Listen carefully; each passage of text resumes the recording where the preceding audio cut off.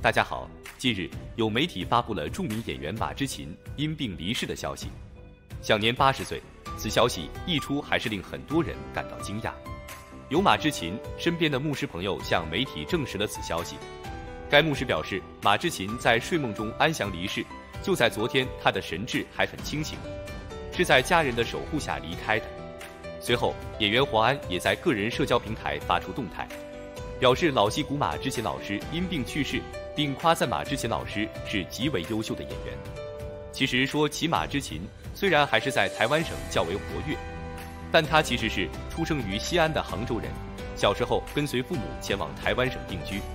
早年马之琴凭借着姣好的容貌，在六十年代中期开始表演，并与中视进行了签约，留下了《女巡抚》《亲情》等作品，还获得了一九七六年的金龙奖最佳女演员奖项。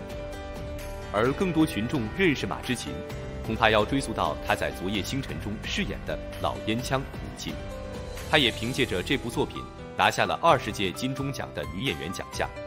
而后，马之琴又在在《一剪梅》中饰演了邢寡妇。这个角色颇有其特点，虽然讲话直率泼辣，但内心却一直为沈心慈着想，也为观众们留下了深刻的印象。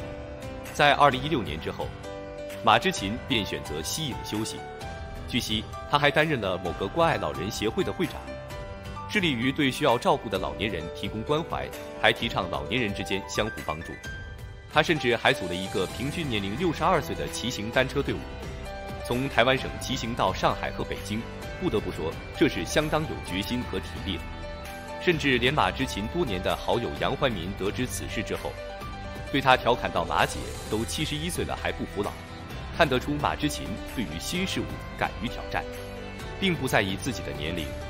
纵观马之琴老师的一生，也算得上是丰富多彩、是热闹的一生。早年从影，受到观众喜爱，又拿下大奖。晚年息影之后，又去自己喜爱的事情，无论是组成单车车队还是照顾老人，都相当有意义。